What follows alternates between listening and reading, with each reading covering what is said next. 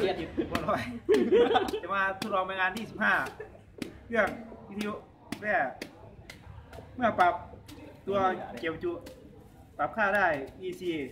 เมื่อปรับสถานีพบว่ามีเสียงดังเกิดขึ้นที่หูฟัง ในการรับฟังเสียงจะต้องใช้มาที่ในการรับฟังค่อนข้างมาก เพราะเสียงที่ได้ยินนั้นจะค่อย เมื่อปรับตัวเก็บจุปรับค่าได้ BC ในทิศทางตามเข็มและทวนเข็มในาฬิกาพบว่าสถานีเปลี่ยนแปลงตาม